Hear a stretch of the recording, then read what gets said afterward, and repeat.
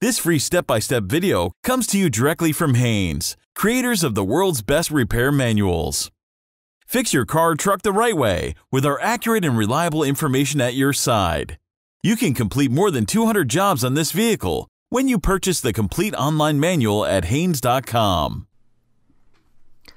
Alternator replacement, Ford Ranger. Pull the hood release lever located underneath the steering wheel. Lift the hood safety latch and raise the hood upwards. Support the hood with the prop rod. Loosen the cable clamp nut, then disconnect the negative battery cable from the terminal. Secure the cable aside to prevent accidental reconnection. Remove the cover mounting bolts, then lift off the air intake and throttle body cover. Loosen the intake tube hose clamps at each end. Disconnect the crankcase ventilation hose from the intake air tube.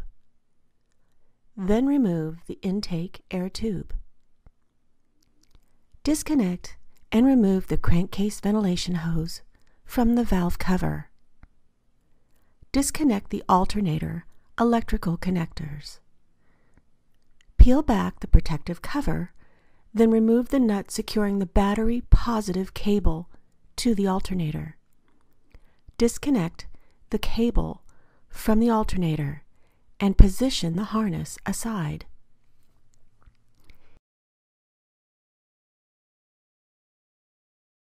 Note how the drive belt is routed among the various pulleys. To remove the drive belt, rotate the tensioner pulley counterclockwise, then slip the belt off of an accessible pulley. Slowly rotate the tensioner to its stopping point. Remove the belt from the various pulleys and out of the engine compartment. Detach the wiring harness clip from the alternator. Remove the alternator mounting bolts. Remove the alternator. Install the alternator onto the mounting bracket, then thread in the mounting bolts. Tighten the alternator mounting bolts to the specified torque setting.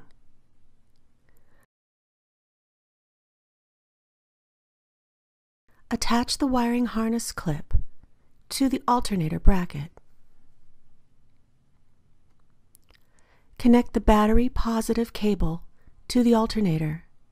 Screw on the cable nut and tighten it securely. Secure the terminal with the protective cover.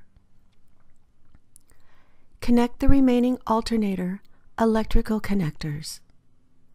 Connect the crankcase ventilation hose to the valve cover.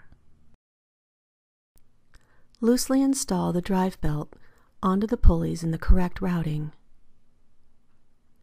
Rotate the tensioner to allow the belt to be slipped onto the remaining pulley.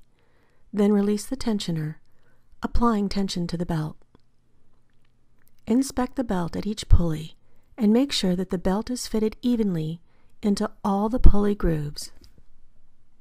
Install the intake air tube to the filter housing and throttle body.